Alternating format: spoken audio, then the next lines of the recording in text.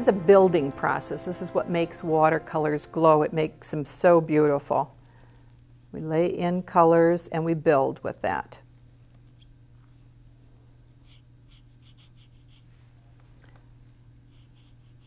And again, we're not painting petals yet, we're just laying in color. This is initial color wash. Soften all the edges with clear water. Bring clear water back up into those edges so we don't have any hard edges. And we're starting with the back side. We'll work one petal at a time so that you get the idea. So we're starting back here. Nice strokes. Get your brush loaded with paint so that you can make one stroke.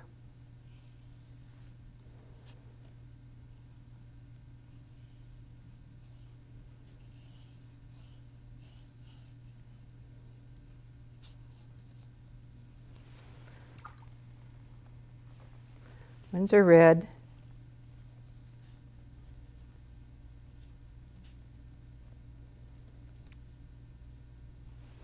And again, rinse your brush, clear water, soften some of those edges.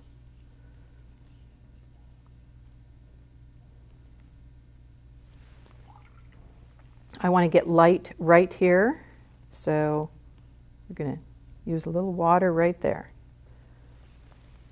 And that's all you do on that petal. All right, my rose is dry now. Got those nice base colors in each petal. But I still need some more definition in that flower and I need some punch. So uh, right now we're going to add a little bit of uh, detail to the petals, give them a little more interest. For this technique you can use either a, a, what they call a fan brush or you can use an old toothbrush.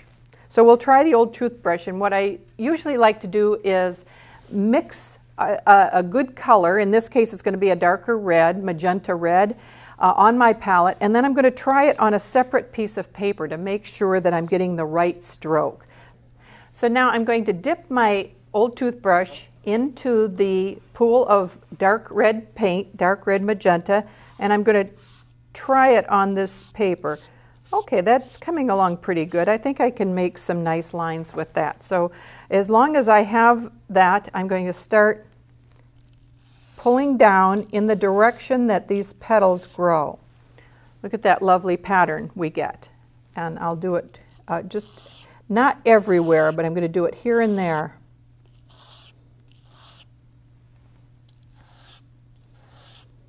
Gives a lot of contouring to these petals.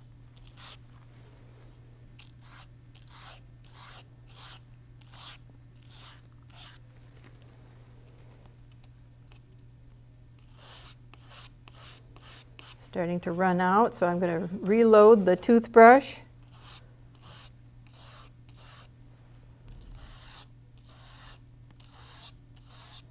You can change colors as you go along.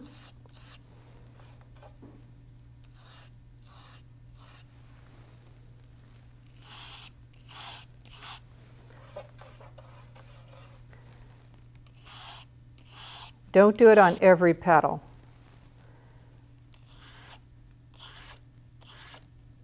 And as you get farther away from the center of interest, which is over here, you'll do less and less of it.